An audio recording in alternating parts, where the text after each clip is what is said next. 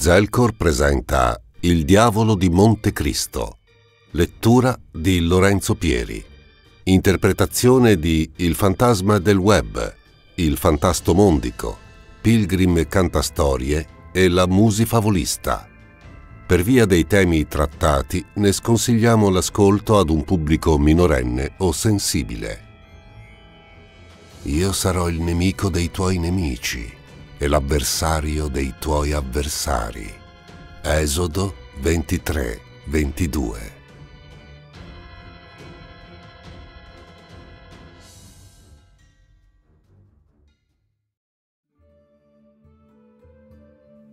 L'avanscoperta del sole era un bagliore rosa intenso che cospargeva di faville la superficie del mare, arrossendo le coste aspre e cespugliose dell'isola di Montecristo. Onde calme e sonnolente lappavano la piccola baia sassosa, incastonata fra alti castelli di scogli, sopra i quali le berte stavano di vedetta. Nella macchia di arbusti sagome di capre si spostavano fuori e dentro la vegetazione, impegnate nella colazione annunciato da un crocchiare di petrisco sotto i sandali, un monaco dal saio sbiadito dal sole e dalla salsedine scendeva lungo un sentiero scavato in secoli di andirivieni degli animali, seminascosto da alti cespi di erica nel pieno della loro fioritura. Il monaco era vecchio, nessuno avrebbe mai sospettato quanto lo fosse, ma si muoveva con rapidità ed energia, quasi senza l'ausilio del lungo e nodoso bastone ricavato da un ramo di leccio. Era una figura granitica e imponente quanto l'isola stessa, quasi fosse il genius loci di quel luogo inospitale, ma il suo volto non recava la severità monacale che ci si attende da un eremita. Era tostato dal sole mediterraneo, inghirlandato da una barba d'argento che gli fioriva dalle guance e dal mento al pari di un mazzo di brugo.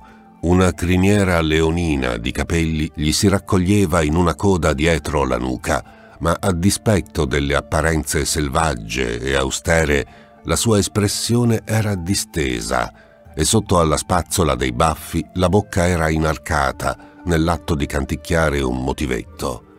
Un ciondolo con appesa la valva rosa di una capasanta gli rimbalzava sul pancione. Era felice. Lo era sempre quando si recava alla spiaggia con il cesto sotto al braccio, pronto a colmarlo di telline, granchi e se era una mattina fortunata anche qualche seppia che fluttuava nelle pozze create dalla marea che si ritirava. Se avesse posseduto un calendario o se non avesse smesso di curarsi dello scorrere del tempo, avrebbe saputo che stava per sorgere l'alba del 28 aprile 1692. Uno spicchio di sole, abbagliante come oro fuso, fece capolino da sotto la linea tracciata dal mar Tirreno. L'intenso rosa dell'aurora si stava diluendo, mescolato con un azzurro lieve. Come sempre, il monaco si tolse i sandali e avanzò verso la battigia. L'acqua fredda gli rotolò sui piedi nudi, dandogli un brivido che gli risalì su per le gambe, facendogli emettere un risolino. Lisciandosi l'ampio saio sotto le natiche, si sedette su uno scoglio, che ormai era diventato il suo sgabello. Da lì aveva contemplato il sorgere di innumerevoli aurore, eppure era un piacere, del quale non si sarebbe mai annoiato. Sotto al brusio prodotto dal viavai delle onde, l'orecchio del monaco avvertì un lieve scalpiccio in avvicinamento. Con la coda dell'occhio individuò l'allungarsi di un'ombra snella, protesa contro luce, indifferente al fatto che il sole sorgeva lì di fronte. Sul letto di granelli si proiettava una sagoma alta, le braccia estese, il capo ornato di corna. Gli uccelli si involarono tutti insieme dagli scogli, starnazzando il loro improvviso terrore. Ma il monaco sorrise e senza staccare gli occhi bruni dall'orizzonte disse Di nuovo il vecchio trucco dell'ombra, Trago? Ho smesso di spaventarmi da almeno... Toh, non ricordo più neanche da quanto si gettò un'occhiata sorniona sopra la spalla. Dietro di lui non c'era una persona, c'era un caprone nero. il corpo possente sotto a un vello che pareva d'ebano, i cui riccioli intrappolavano il bagliore del sole nascente. Gli occhi erano rossi come sangue appena versato e dai loro abissi si affacciava un'intelligenza sconosciuta al regno animale e forse anche a quello umano. Eh, una splendida giornata, non pensi? Odiosa come ieri e rivoltante come sarà domani. E echeggiò nel cranio del monaco la voce roca, sprezzante e infernale del capro. Oh, sempre disfattista, vedo. Era da un po' che non ti facevi vivo. Ti mancavo per caso? Sono venuto a controllare che non ti fosse accaduto qualcosa, vecchio. Che so, magari ti eri rotto una gamba cadendo da uno scoglio, o eri rimasto avvelenato da un frutto di mare. Quanta premura! Ridacchiò il monaco di rimando. Ma sono in salute, come puoi vedere. Per mio sommo rammarico. Ringhiò la voce del capro, ma ormai il monaco leggeva la finzione sotto quel ruvido strato di astio. Andava avanti da così a lungo ormai. Un tempo la credine tra i due era stata sincera e lancinante, ma adesso si erano abituati uno all'altro forse iniziando perfino a sviluppare un malforme affetto nei reciproci riguardi, il genere di burbera simpatia che germoglia tra due spie di diverse nazioni che il fato vede agire per tanti anni sul medesimo confine. Scuotendo divertito il capo irsuto, il monaco posò lo sguardo sullo scintillio frenetico che palpitava sopra le acque calme e trasparenti. Mi concederai l'onore di accettare il mio invito per pranzo? Se proprio ci tieni, vecchio. Brontolò Trago, agitando le fiere corna ricurve, prima di voltarsi e procedere con andatura lenta e maestosa verso gli scogli. Sotto alle zampe, ornate di zoccoli d'ossidiana, l'ombra non ricalcava la forma del suo corpo, assumendo il sembiante di una nube amorfa che ogni tanto si consolidava in una forma tentacolata e grottesca. Il monaco gonfiò l'ampio petto di frizzante brezza marina e svuotò i polmoni con un lungo, lento sospiro. Trago non poteva capire. Quelle albe e quei tramonti che il monaco tanto amava erano le ancore di salvezza che lo ormeggiavano alla sanità mentale, costituivano la consapevolezza dello scorrere del tempo e gli rammentavano che oltre i confini del mare il mondo era andato avanti, i regni erano cresciuti e caduti, i piccoli villaggi erano diventati grandi città e le grandi città erano diventate macerie vuote. Solo Monte Cristo non cambiava mai, come lui e Trago chinò lo sguardo sulla propria mano sinistra, osservando la lunga cicatrice pallida e grinzosa che gli solcava il palmo obliquamente, lascito del suo peccato più grande, della sua colpa più imperdonabile, seppur fatta con le migliori intenzioni. A volte lo rimpiangeva. Si recava sulle antiche tombe dietro il monastero di San Mamigliano, dove erano sepolti i suoi confratelli, e si sforzava di ricordarseli fino a quando il mal di testa non gli faceva lacrimare gli occhi. Volti e nomi si erano sgretolati, così come le ossa in quelle sepolture e innumerevoli altri avvenimenti del passato, ma non la notte trascorsa alla grotta del drago. Quella non avrebbe potuto scordarsela, neanche se fosse vissuto per altri 955 anni.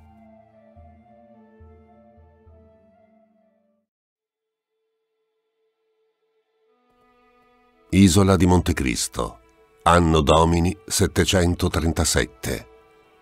Il timore che sarebbero tornati divenne un'orribile certezza quando al monastero giunsero le voci di certi pescatori che erano soliti gettare le reti nelle ricche acque dei golfi rocciosi. Stando a quanto venne riferito agli abitanti del monastero, le scorribande avevano mietuto vittime, recato devastazione e deportato centinaia di schiavi verso le coste del Maghreb, nei regni dove non veniva pronunciato il nome di Dio. La piaga dei pirati saraceni aveva infettato tutto il Mediterraneo, più letale della peste e per il momento nessuno era riuscito a trovare una cura efficace per debellarla dalle acque e dai litorali cristiani. Simili ai lupi salpavano su agili imbarcazioni dalle loro turpi città africane, oppure sciamavano dalle loro basi lungo la penisola italica, saccheggiando città costiere oppure occupandole, imponendo la legge e la religione islamica. I loro obiettivi prediletti erano i monasteri. A seguito di quegli allarmanti resoconti e memore del fatto che già più di una volta in passato la sacra pace eremitica di San Mamigliano era stata profanata da orde di predoni infedeli, l'abate Lodovico da Grosseto radunò i cinque frati più anziani e tenne loro una riunione segreta nella sala dove usualmente si organizzavano i conciliaboli.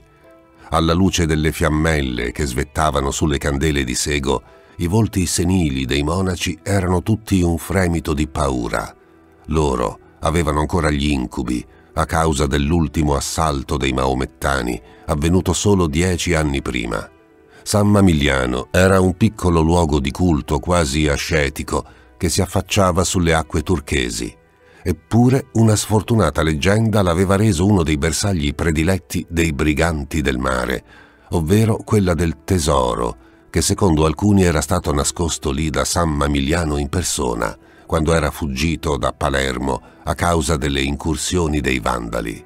Malgrado non ci fosse alcuna prova che tale favolosa ricchezza esistesse, ciò non aveva scoraggiato i saraceni.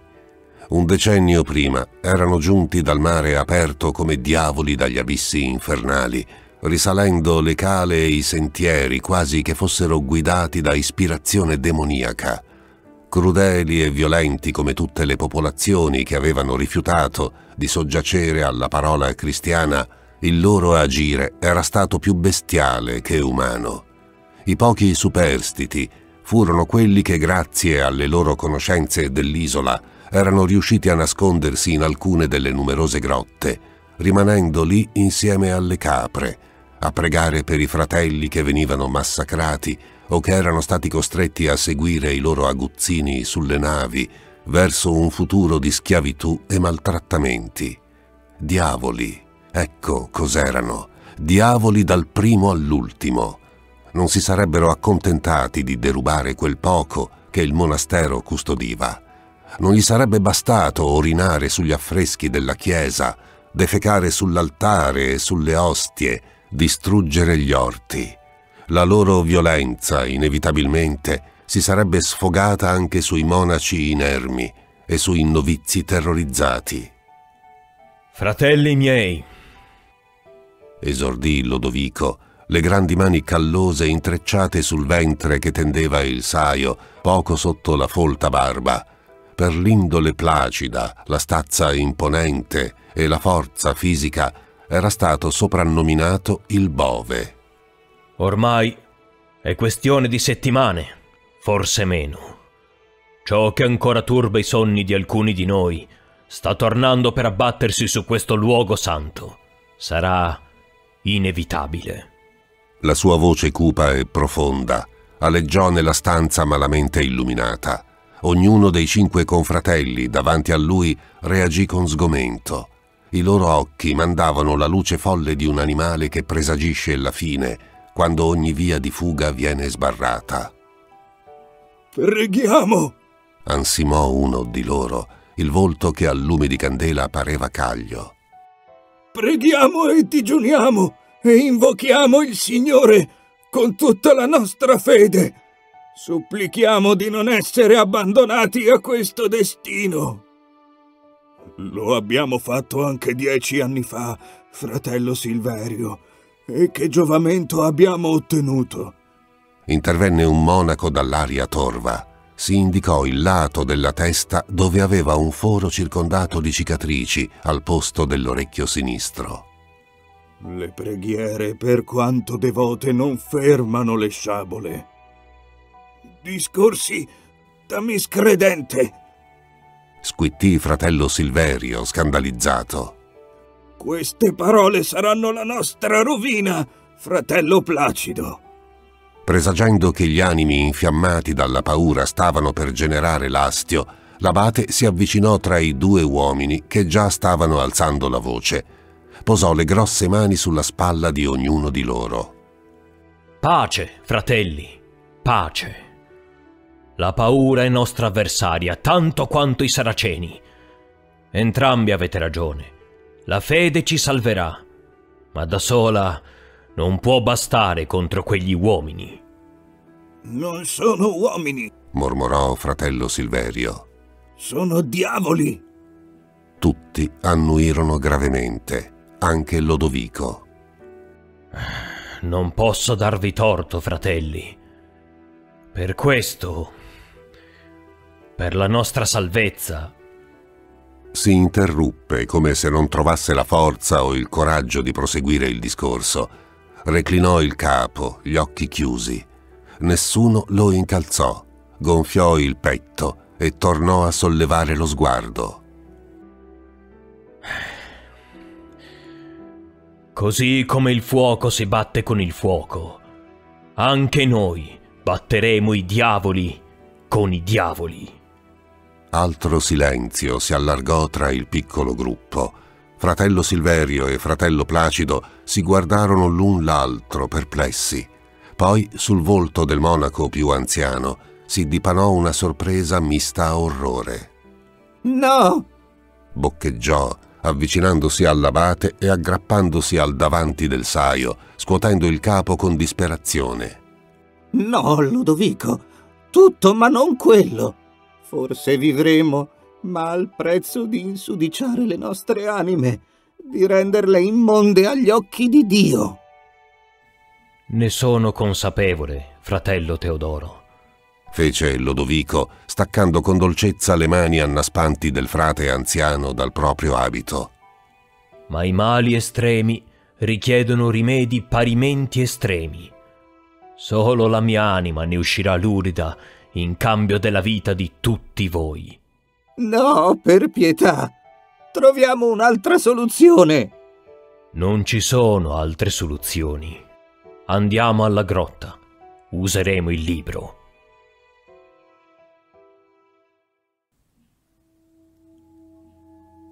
La luce sparsa dalle lanterne impugnate dai monaci illuminò l'interno della grotta scivolando sui numerosi ex voto lasciati lì da pellegrini e marinai. Di solito, per Lodovico da Grosseto, la spelonca absidata era un luogo di quiete e meditazione, ma non quella notte. La sola idea di estrarre uno degli oscuri tesori custoditi da secoli in quel monastero e utilizzarne i propri malefici gli dava la nausea. Quando San Mamigliano era fuggito dalla Sicilia, aveva portato con sé anche qualcosa che se finito in mani sbagliate avrebbe potuto generare nefandezze incalcolabili. Il rispetto che l'uomo aveva provato per la cultura, anche quella di natura tanto abietta, gli aveva impedito di disfarsene e tale regola era stata scrupolosamente applicata anche dai monaci arrivati dopo di lui, poiché il segreto era ereditato da abate ad abate. Muovendosi nel bagliore incerto del fuoco, Lodovico fece scivolare la lastra che celava il ripostiglio segreto. Dentro la nicchia scavata nella roccia viva stava un fagotto di stoffa che sollevò posandolo su una sporgenza. Alle sue spalle gli altri frati anziani gli si raccolsero attorno, colmi d'ansia. Nello slacciare le corde che chiudevano l'involto, le mani del grosso abate erano impacciate dai tremiti scostò i lembi con la cautela di chi muove una pietra da sopra una vipera. Nella mutevole luce delle lanterne qualcosa si agitò sotto la stoffa con un movimento brulicante. Lodovico sussultò ritraendo le mani e altrettanto fecero i monaci dietro di lui, i cui ansiti di spavento echeggiarono sulla volta della grotta. Ma non c'era nulla di vivo davanti a loro era stata un'illusione indotta dall'inquietudine, o forse no. Dentro il fagotto restavano i resti di quello che era stato un libro. Gli anni e i maltrattamenti di chi l'aveva posseduto prima di loro ne aveva sfasciato la rilegatura, con le pagine che sfuggivano disordinatamente. Alcuni fogli mancavano, altri erano strappati e non davano idea di essere fatti di carta. Sembravano sfibrati, come accade alla pelle. Che mostruosità! commentò padre Teodoro fissando il libro con ammirata orripilazione. Faremo meglio a dargli fuoco invece di usarlo. Sa Dio se hai ragione, fratello. Purtroppo non abbiamo scelta. Per un istante i suoi occhi vagarono come a volersi guardare attorno. Si dice che un tempo San Mamiliano in questo luogo uccise un drago. Stanotte noi ne evocheremo uno. Usando solo la punta delle grosse dita, Lodovico prese a sfogliare quelle pagine molli e fittamente ricoperte di scritte e illustrazioni così spaventose da fargli sgorgare sudore freddo a fior di pelle. Aveva dell'incredibile che quel libro fosse stato concepito da mente umana. Sapeva che era stato scritto da un poeta visionario di Sana, tale Abd al-Zred, ed era la trascrizione di orribili pratiche occulte, incantesimi blasfemi e riti per evocare la progenie infernale. C'era quasi dell'ironia che un trattato di turpi formule arabe venisse utilizzato da un abate cristiano contro i saraceni. In buona misura il linguaggio usato su quelle pagine era incomprensibile, ma alcune parti erano state tradotte in greco e Lodovico concentrò la sua attenzione su quelle, fino a quando non trovò quel che faceva al caso loro. Faticò ad arrivare in fondo al testo, aveva il fiato corto, le gambe deboli di paura e ripugnanza. Era molto peggio di quanto credesse. Che il Signore mi aiuti e che mi perdoni, se può. Con occhi allucinati e il volto che grondava di sudore, si voltò verso i compagni. Eh, perdonatemi anche voi, amici miei. Fu molto semplice in realtà. Come tutte le faccende sporche, perverse e malvagie, quel rituale sembrava nato per essere alla portata di qualunque uomo, quasi fosse insito in ogni persona. Lodovico era terrorizzato dal fascino di quel che stavano attuando, frastornato dall'estasi oscura scaturita dal potere che riusciva ad irradiare. Quali terribili miracoli avrebbe potuto attuare se avesse tradotto anche il resto di quel libro, trasformato i fiumi in sangue, fatto cadere le stelle dal cielo, riportato in vita i morti. Sarebbe potuto diventare un secondo tenebroso messia al quale tutti i popoli si sarebbero inchinati, imperatore di tutte le terre, papa di tutte le chiese. Avrebbe elevato i suoi alleati e abbattuto quanti gli erano odiosi alla vista. Così bella e così semplice era la via che conduceva a tutto il male. Il pugnale gli scivolò sul palmo il suo sangue schizzò copioso sulle linee e sui simboli tracciati sul pavimento, sfrigolando come se l'avesse gettato sopra una stufa accesa. Attorno a lui, nudi e con i volti contratti dall'infernale libidine, i membri eretti che puntavano alla circonferenza del pentacolo sul terreno in mezzo a loro, i cinque frati recitavano la formula con il medesimo ardore impiegato a declamare i salmi durante la messa, anzi forse con trasporto anche maggiore. E di colpo, nato dal sangue di Lodovico, colui che avevano chiamato si materializzò, facendoli cadere tutti in ginocchio al limite del deliquio.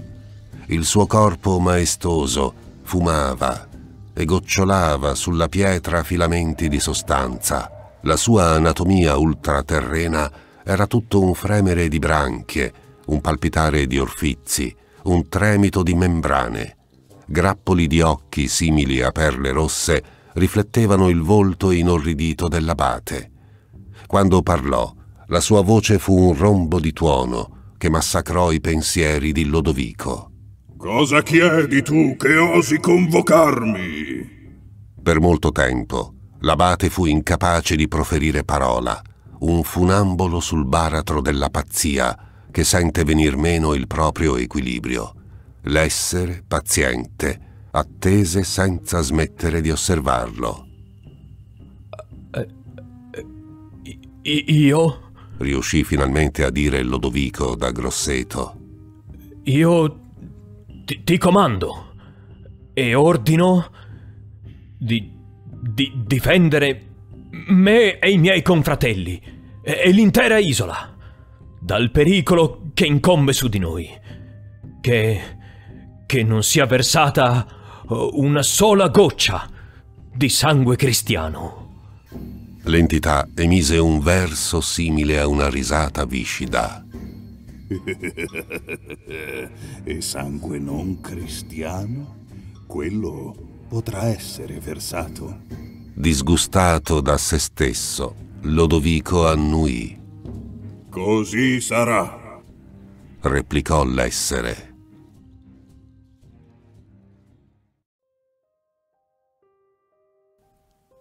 Il monaco che un tempo era stato abate del monastero di cui ora restavano solo ruderi, scoprì che l'acqua gli era risalita fino quasi alle ginocchia. Chiuse il pugno, nascondendo alla vista la cicatrice. Se solo fosse stato così semplice far scomparire anche i ricordi. Ma quelli erano parte della sua condanna, la punizione per aver messo piede fuori dalla strada del Signore. A cosa era servito poi? Alzò lo sguardo. Le mura dell'antico luogo sacro, scolorite e sommerse di erbacce, erano quasi indistinguibili dal paesaggio brullo e riarso che le attorniavano. Neanche versare il sangue suo e altrui era bastato a evitare la fine di tutto. Quando i saraceni avevano dato l'assalto al monastero quasi mille anni prima, la creatura aveva tenuto fede al patto stipulato e per i giorni a venire i larici si erano abbeverati di sangue infedele. Non erano morti tutti, però. Ad alcuni era stata concessa la salvezza affinché riferissero cosa accadeva a coloro che osavano approdare a Monte Cristo con intenti malvagi. Per un po' aveva funzionato da deterrente. All'epoca era apparso che il periodo di tregua fosse lunghissimo, se non persino infinito, ma adesso che valutava il tempo in tutt'altro modo, a Lodovico non sembrava che fosse durato poi così tanto. Il terrore era diventato superstizione, la superstizione si era ridotta a fiaba. Ben presto il richiamo di facili ricchezze aveva vinto anche la paura del diavolo. Altri pirati, molti secoli dopo, avevano fatto ritorno sull'isola sotto gli ordini dell'ammiraglio Turgut Ali, una flotta di pirati turchi al soldo della Francia scoccò un ultimo attacco devastante al monastero nel 1553, nel corso delle sue scorrerie lungo le coste tirrene. Da allora il sacro luogo restò vuoto e abbandonato come una delle tante conchiglie che le mareggiate depositavano sulle spiagge dell'isola l'unico ad aggirarsi entro le sue mura, al pari di un misero spettro, era proprio Lodovico da Grosseto. E Trago, ovviamente, il demone, al quale il suo destino era intrecciato. Lo spaventoso manuale era stato molto chiaro. Una volta evocata, l'entità sarebbe stata libera di imperversare per il mondo. Per impedirlo era necessario sigillarla in un dato luogo, ma per farlo serviva vincolarla a colui che l'aveva richiamata da quello che l'autore denominava macroverso. Confinato in un aspetto di caprone, impossibilitato ad utilizzare i suoi poteri, il demone sarebbe rimasto inoffensivo e la sua esistenza immortale avrebbe contagiato quella dell'evocatore, conferendogli l'immunità ai danni del tempo e delle malattie. Il loro legame si sarebbe spezzato nel caso in cui Lodovico fosse morto di altra causa, una ferita grave, venendo ucciso o commettendo suicidio. Per anni Trago aveva tentato di spingerlo a togliersi la vita. Che senso c'era nell'immortalità quando aveva la consapevolezza di aver fallito, gli ripeteva A quale scopo sopravvivere a tutti i propri amici, vedendoli invecchiare e morire uno dopo l'altro, perdendoli? Non sarebbe stato più dolce il sonno eterno, la beatitudine tanto cercata dai cristiani, dove avrebbe potuto ricongiungersi alle anime di coloro che aveva amato? Lodovico aveva vissuto secoli terribili, divorato da sensi di colpa, malinconia e solitudine, sentendosi una creatura fuori dal proprio tempo, si era involuto in una bestia che vagava nuda e sporca insieme alle capre, dormendo con loro all'ombra dei lecci e suggendone il latte dalle mammelle. Aveva percorso la corda tesa fra l'uomo e l'animale, risvegliandosi a volte una cosa, a volte l'altra, e ogni volta Trago era lì, a sussurrargli le delizie della morte, i vantaggi del trapasso, l'anestesia del decesso. Di colpo, un giorno, la mente di Lodovico era immersa da quel torpore.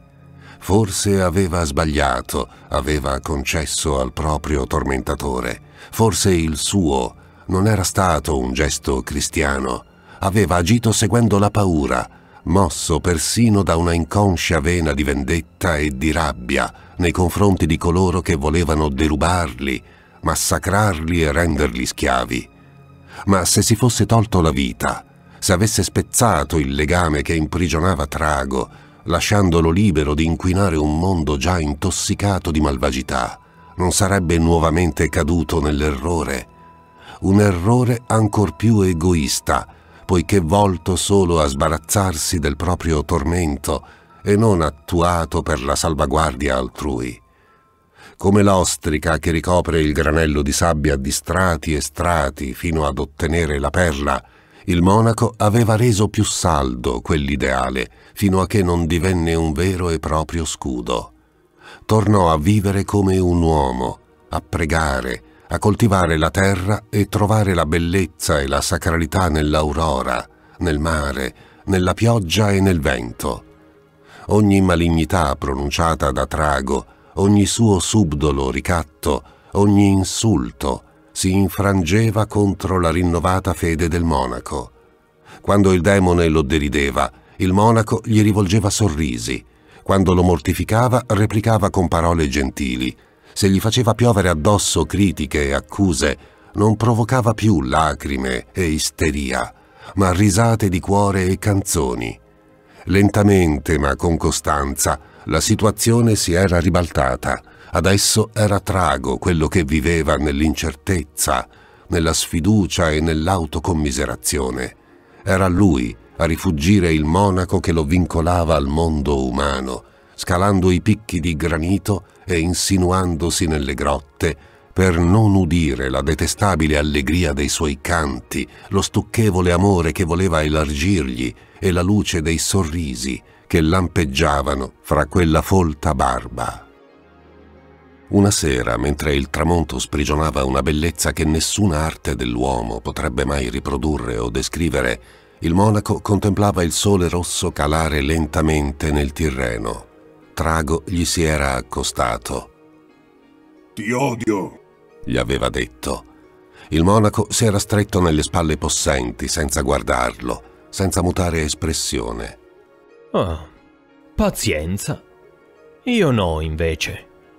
Il caprone si era impennato sulle zampe posteriori, scuotendo furioso la testa cornuta.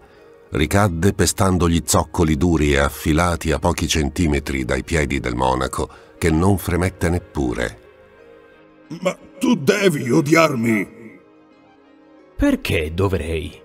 Perché io ti voglio fare del male!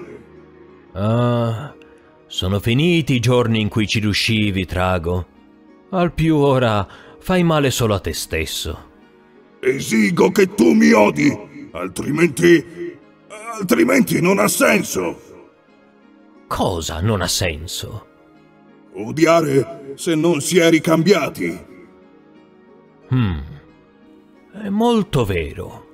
Aveva ammesso il monaco meditabondo, lisciandosi la barba indorata dal vespro. Beh, avrei una soluzione al problema. Ebbene? Potremmo diventare amici, tu e io. Trago aveva nuovamente scalpitato, agitando la testa con maggiore energia. Il suo sguardo rosso sangue era colmo di disgusto, ma pure di sorpresa. Amico tuo? Perché dovrei diventare amico tuo? Perché non posso ricambiare il tuo odio, ma potrei ricambiare la tua amicizia. Il caprone aveva emesso un cupo belato, sbuffando dalle larghe narici. Sei pazzo, vecchio. Lo aveva dileggiato, ma nel suo disprezzo il monaco aveva colto l'insinuarsi di una punta di divertimento. Hmm. Su questo siamo d'accordo. Trago si era seduto a fianco al monaco. Insieme avevano ammirato il sole immergersi nel mare.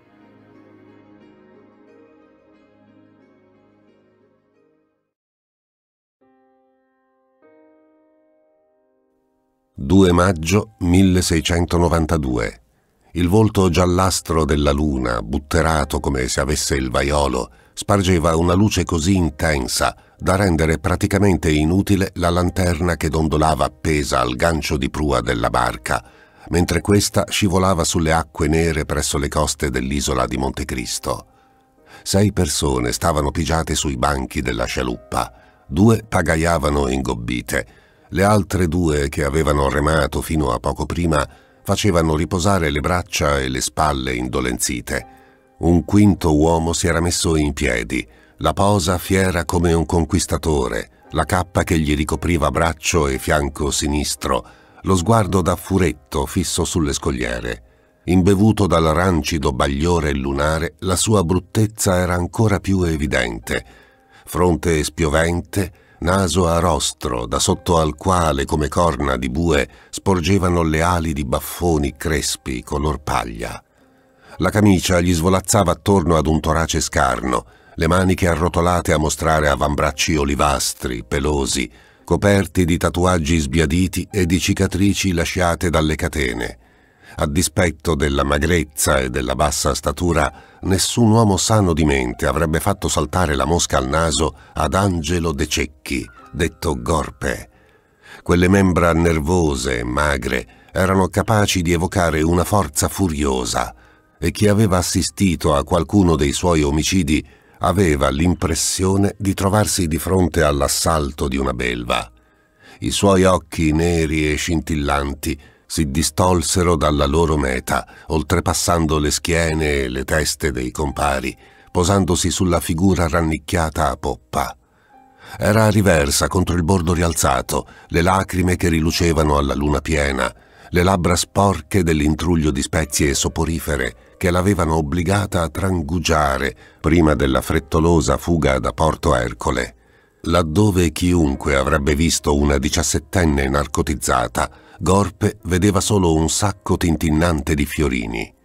Si trattava di Bianca dei Giaggioli, unica figlia di una delle più ricche famiglie toscane, promessa ad un esponente della casata medicea. Il suo rapimento era costato un anno di lavoro, tra pedinamenti e raccolta di informazioni. Avevano dovuto corrompere diversi servi disonesti affinché tutto andasse a buon fine, ma ecco che tanto sforzo era stato coronato dal successo. Fedele al proprio soprannome che significava volpe, il criminale aveva ordito affinché circolasse fin da subito una falsa voce, secondo la quale la giovane era stata condotta a Grosseto, in modo che a nessuno venisse in mente di spingersi verso Montecristo. Su quella roccia, abitata solo dalle capre, piena di grotte e di fortezze diroccate, avrebbe trovato il nascondiglio perfetto in attesa del riscatto. Gorpe voltò il capo. Una caletta infissa tra alti scogli scintillava come pelle di foca. Ben presto la sabbia grattò lo scafo dell'imbarcazione. I briganti balzarono giù, trascinandola in secca. Il più grosso di loro si incaricò di raccogliere la ragazza stordita dal narcotico fra le braccia. Nel frattempo Gorpe aveva sganciato la lanterna avanzando con la ghiaia che crocchiava sotto gli stivali. Alzò il braccio e decine di occhi si accesero nel buio, brillanti come fiammelle verdi. estrasse subito la pistola dalla fusciacca che gli cingeva la vita, ma non fece fuoco. Erano solo capre. Ci vediamo domani a pranzo, bellezze. Ghignò Gorpe rinfoderando l'arma. Si guardò intorno. Individuò un sentiero che si inerpicava tra i cespugli, probabilmente scavato dagli zoccoli degli animali. Fece cenno ai suoi uomini di venirgli dietro, poi si incamminò.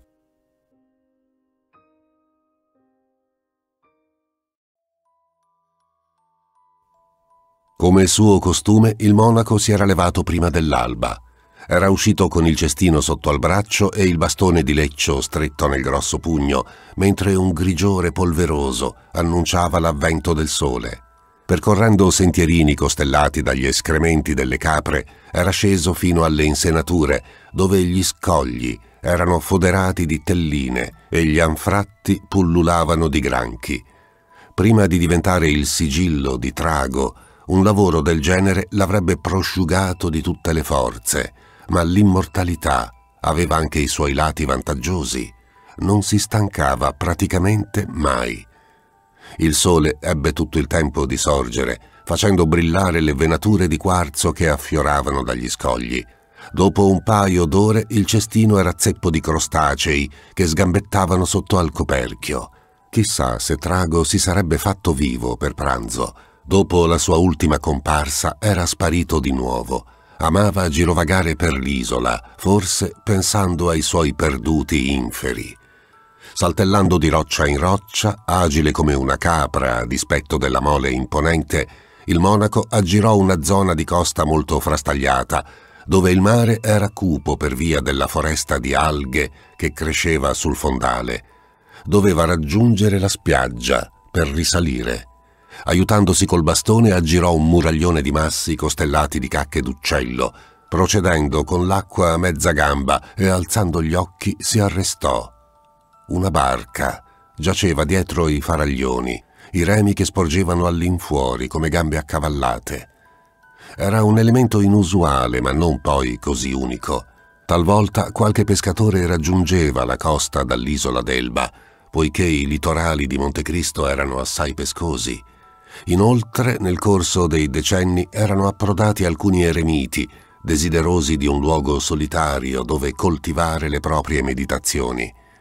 Era stato per via di quello stillicidio di visitatori se Lodovico era riuscito a tenersi più o meno aggiornato sulle trasformazioni del mondo, della politica, della cultura e della lingua, grazie a libri e ad altri documenti reperiti da pellegrini e anacoreti, aveva potuto mantenersi al passo, sebbene claudicante.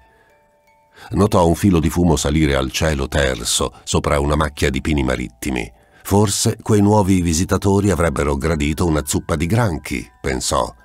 Il fatto che fosse acclimatato a lunghi periodi di solitudine non significava che disdegnasse la compagnia attraversò la spiaggia e si arrampicò sul sentierino stretto e accidentato che risaliva dalla parte opposta. Sentiva voci maschili scambiarsi frasi che non afferrò. Si inoltrò tra i fusti contorti senza far rumore per via dello strato di aghi che ricopriva il terreno, intravedendo le fiammelle sprigionarsi da un piccolo falò. Due uomini gli davano le spalle, seduti a terra a gambe incrociate, di rimpetto, abbandonata contro una formazione rocciosa, stava una ragazza dai lunghi capelli neri, avvolta in un abito da nobildonna. Lodovico trasalì nel vedere che aveva i polsi legati e scivolò subito dietro un tronco, giusto in tempo prima che uno dei due tipi della stazza di un orso si voltasse. Hai sentito? Ma lascia fare, sarà una di quelle capre del cazzo. Eh, mica male la figliola. Non la devi toccare, se no Gorpe ti incula. Sì, come fa con tua madre. Ne nacque un chiacchiericcio aspro e volgare, al quale il monaco si disinteressò. Aveva sentito e visto abbastanza da capire la situazione. Posò delicatamente a terra il cesto, sfilandosi i sandali. Attese che la conversazione salisse di tono in modo che le parole dei due malviventi coprissero il suo avvicinarsi furtivo. scalzo e aiutato dagli aghi di pino, non fece alcun rumore mentre procedeva cauto alle loro spalle. Strinse il ruvido bastone con le mani appiccicose di sudore. Ma levati da in culo e allungami il fiasco! Puttaniere che non sei altro. Il compare si allungò di lato verso una bottiglia e nel farlo, con la coda dell'occhio, vide il monaco. Si volse nell'istante in cui il nodo in cima al lungo bastone gli si abbatteva violentemente sulla tempia. Il gigante crollò di schianto, a faccia in giù, sul terriccio. Il brigante più magro si scostò con uno squittio di atterrito stupore. Il bastone del monaco calò sibilando anche su di lui, che ebbe i riflessi più svelti, rotolò di lato, armeggiando con il calcio della pistola, che però si impigliò nella fusciacca. Mentre strattonava l'arma e bestemmiava a denti stretti, Lodovico gli fu addosso. Gli affondò la punta del bastone nello stomaco, facendogli strabuzzare gli occhi con un verso sfiatato. Il monaco sollevò l'arma improvvisata, facendola impattare con forza sotto al mento dell'avversario. Il colpo gli fece sputare due denti, mentre si rovesciava sulla schiena, privo di sensi. Ansimando, il monaco si volse all'indirizzo della prigioniera che si era ridestata per il tafferuglio e lo fissava con occhi spalancati per l'allarme. Io Dio, sei solo una bambina! esclamò il monaco accosciandosi a lei. La giovinetta si ritrasse in preda al panico. No, no, sono amico. Sono un monaco. Spiegò Lodovico. L'urgenza della situazione gli stava facendo dimenticare l'infarinatura di lingua corrente che aveva appreso, come si aspettava. Quando estrasse il coltello dalla scarsella agganciata alla cintola, la ragazzina sbiancò. Uh, per corde, si affrettò a chiarire Lodovico avvicinando la lama al proprio polso. La paura di lei commutò in comprensione e sollievo. Avvicinò subito le mani al monaco, che prese a strofinare il coltello sulle corde. Ci vollero diversi minuti, o la lama si era smussata a forza di staccare patelle dagli scogli, o la canapa era molto robusta. Quando l'ebbe liberata, l'aiutò a mettersi in piedi gli passò per la testa che quella era la prima donna che vedeva da tantissimo tempo. Oh, sia lode a Dio! Singhiozzò la ragazza tremando da capo a piedi. Fuggiamo di qui, ve ne prego. I loro compagni si sono allontanati all'alba per una ricognizione. Potrebbero ritornare. Ce ne sono altri? Lei annui convulsamente tre e uno di loro è De Cecchi. Lodovico non sapeva chi egli fosse, ma dal terrore che vibrava nella voce della fanciulla al pronunciare quel nome, intuì che doveva trattarsi di un criminale pericoloso. Ah, non ti accadrà nulla, sei salva. Ripose il coltello, preferiva il bastone. Prese la mano delicata della giovane nella propria. Vieni, bisogna andare.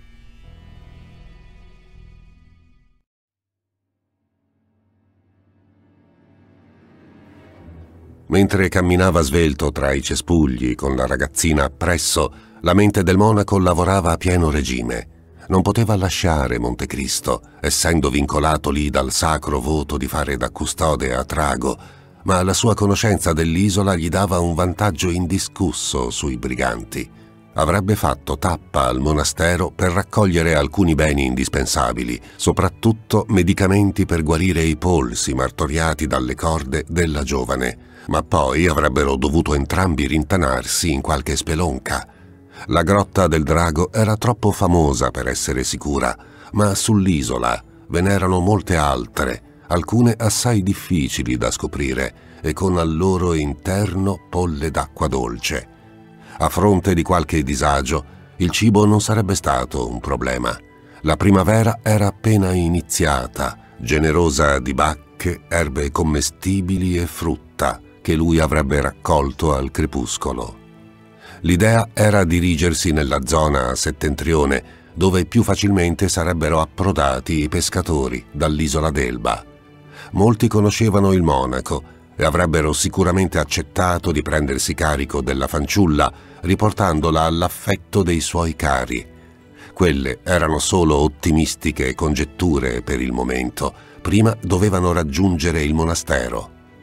La struttura, dissimulata come sempre tra rocce e arbusti, diede una stretta al cuore di Lodovico. L'idea di abbandonarla dopo che era stata a suo riparo per tanti secoli era straziante. Sperò che i briganti non infierissero su quel luogo per rivalsa contro di lui, ma sapeva che probabilmente sarebbe stato così. Il monaco e la fanciulla, tenendosi per mano, si avvicinarono al portone scolorito della chiesa di pietra. Le ante si aprirono da sole e davanti al loro sguardo atterrito si materializzò una figura bassa, scarna come la morte in certi affreschi. Solo gli occhi parevano recare tracce di vita, ed era una vita da animale predatore. To, chi si rivede? disse senza manifestare stupore, estraendo la pistola. Madonna dei Giagioli, i miei rispetti. Si infilò indice e medio tra le labbra, producendo un fischio acutissimo. Pochi istanti dopo, annunciati da uno scalpiccio, comparvero altri due uomini. Erano lordi di sangue, probabilmente interrotti nell'atto di uccidere una delle caprette. Loro, a differenza di Gorpe, espressero molto stupore nel vedere il monaco e la ragazza lì davanti. Tirando fuori le pistole, presero a parlare concitati tutti insieme. Silenzio, cani. Li zittì Gorpe. Lo ordinò senza rabbia, quasi garbatamente, ma fu ubbidito all'istante. Non staccò mai gli occhi da furetto da Lodovico e Bianca. Il monaco scivolò davanti alla giovane, coprendola per intero con la sua mole. È una bambina. È un mucchio di fiorini, ma tu non puoi capire, monaco. Che ne è di quei due coglioni che dovevano sorvegliarla? Li hai uccisi, monaco? Mm. Solo ammaccati. Mi piaci. Potrei persino farti dei nostri. Beh, ci stai. Vino e puttane a non finire. Ci stai? Preferirei la morte. Gorpe si strinse nelle spalle magre. L'avrai, rispose e alzando la pistola sparò. Il boato riecheggiò lungo sulle scogliere, unendosi allo strillo di Bianca e al crepitio della conchiglia appesa al collo del monaco, distrutta in mille pezzi. Il grosso corpo di Lodovico sussultò. Sul faccione abbronzato non si dipinsero paura e dolore, ma solo meraviglia, quasi stesse provando una sensazione inconsueta. Crollò sulle ginocchia, rantolò un'unica parola. Drago. Poi stramazzò.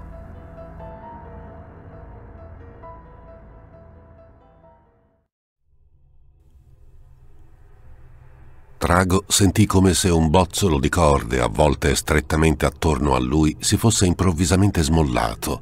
Di colpo ogni vincolo che lo tratteneva in quella forma e che impastoiava i suoi poteri era svanito. Stupore ed euforia si innalzarono nella sua mente, ma quel sollievo gioioso fu tanto dirompente quanto fugace, molto più fugace di quanto avrebbe mai presagito, pur avendolo agognato per lunghissimo tempo. Lo spazio vuoto lasciato da quel sentimento si colmò di qualcosa che sulle prime non riconobbe.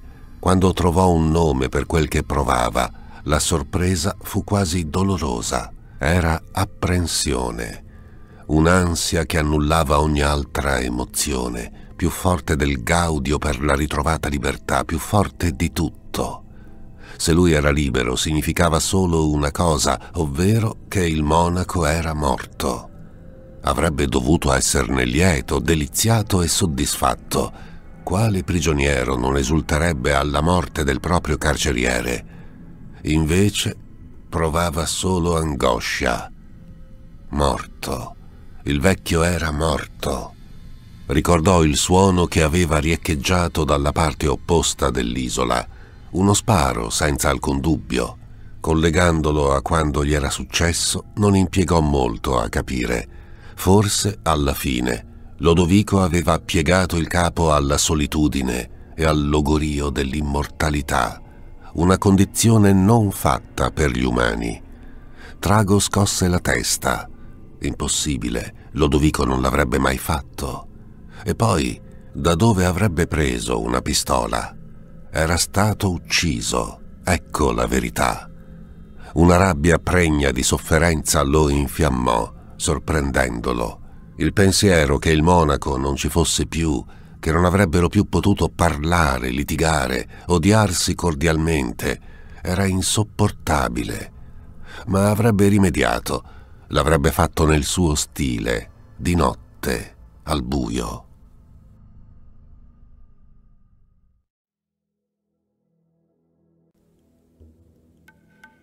La luna ricordava a Gorpe la faccia di un demone, mentre la fissava seduto insieme ai compari fuori dal monastero. Non avevano acceso un fuoco né lanterne.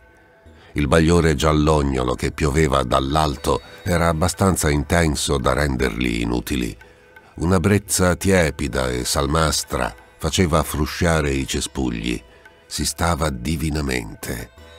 La prigioniera era all'interno, sprofondata nel sonno artificiale del narcotico. Caspita, c'era davvero mancato poco che tutto il piano andasse in malora per colpa di un eremita. Per fortuna avevano scoperto il rudere durante la ricognizione e avevano deciso di entrare, restando di stucco nello scoprirvi tracce che testimoniavano la presenza di qualcuno.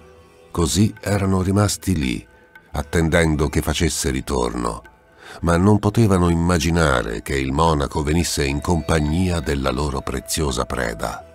Beh, pensarci ormai era inutile. Gli spiaceva solo di essere stato così frettoloso nell'ucciderlo. Avrebbe potuto torturarlo. Amava torturare la gente. Un trapestio lo indusse a metter mano alla pistola. Il suo gesto brusco allarmò i compagni che si armarono anche loro. Di nuovo quelle capre. Sbuffò il brigante grosso abbassando la pistola. Diversi animali stavano uscendo da dietro gli arbusti. Ah, ottimo! Amo le costine! Sghignazzò un altro massaggiandosi la pancia. Qui, qui, qui, qui, caprettine! Le richiamò. Fiduciose le capre si fecero avanti Gorpe aggrottò la fronte, ma quante erano? Arrivavano da ogni dove, a decine. Caprettine! Belle caprette! Continuò il malvivente allungando una mano e sfregando le dita callose. Domani vi faremo arrosto, siete contente? Vi aprirò la gola con il mio coltello, vi appenderò a un albero e vi guarderò mentre vi dissanguate lenta... Ah! La sua frase si trasformò in un latrato di dolore. L'animale gli aveva morso le dita. L'uomo scattò in piedi, il volto contratto di rabbia, ma prima che potesse fare qualsiasi cosa, una delle capre lo caricò violentemente, colpendolo alle ginocchia e facendolo stramazzare. Un attimo dopo, Altre bestie gli si precipitarono addosso, pestandolo con gli zoccoli, affondando i denti ovunque. Da sotto quei corpi lanosi il brigante urlava e si agitava. Gorpe, stralunato, si alzò in piedi a sua volta, imitato dagli amici. La mandria si contrasse attorno a loro, attaccando da ogni direzione. Il brigante gigantesco fu abbattuto da una mezza dozzina di corna e stessa sorte toccò agli altri due, sepolti sotto decine di zampe e musi mordaci. Girò su se stesso, mezzo correndo e mezzo incespicando verso il portone della chiesa. Si tuffò tra le ante, richiudendole subito, armeggiando febbrilmente con il chiavistello. Oltre i battenti proveniva lo scalpiccio furioso degli zoccoli e le grida raccapriccianti dei suoi compagni schiacciati e azzannati a morte.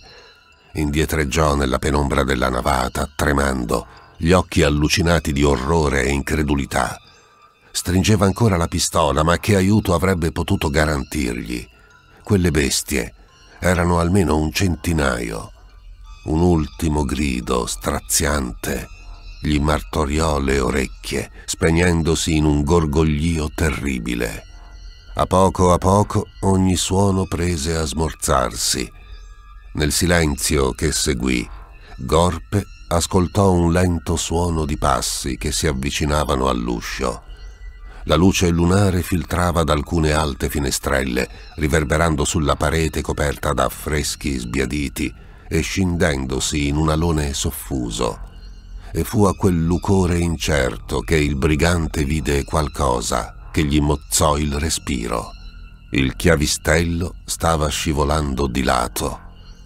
Nell'attimo in cui fece per lanciarsi a rimetterlo dov'era, il portone venne spalancato con un miagolio di cardini. Ricalcato dalla luce lunare, stava un caprone enorme, ritto sulle zampe posteriori. Dietro di lui, come un picchetto d'onore, gli altri animali erano raccolti in due file perfette. Distinto, Gorpe levò l'arma e fece fuoco, ma la mano era così avvinta dai tremiti che mancò clamorosamente il bersaglio. Una spruzzata di schegge si liberò da una delle ante.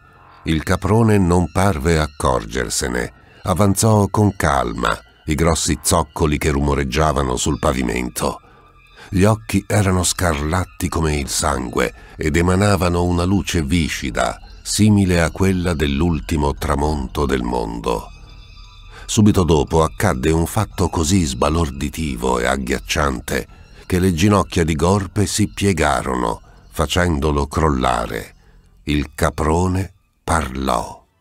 Hai ucciso il monaco, disse Trago facendosi avanti, lo sguardo infuocato fisso sugli occhi lacrimanti del bandito. Era un grasso, petulante, fastidioso irritante, ingenuo moralista. Ma era mio amico. Intanto la forma del capro si stava plasmando in qualcos'altro. L'anatomia animale si modificò, aumentando di volume, ribollendo di un centinaio di piccole modifiche. Gorpe, del tutto impazzito, contemplava quella blasfemia vivente senza accorgersi dell'orina che gli inzuppava i pantaloni. Lui è morto, brontolò la creatura, allungando i lucidi tentacoli neri lentamente verso l'uomo che gli tremava davanti. Tu non sarai altrettanto fortunato. Ucem tembra, ucem tembra subnigurat, emet